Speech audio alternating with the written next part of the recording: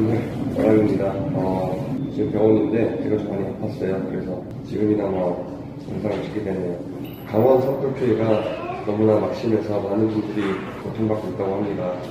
마랑키는 여러분들이 키워주셨고 많이 도움을 주셨는데 생각합니다.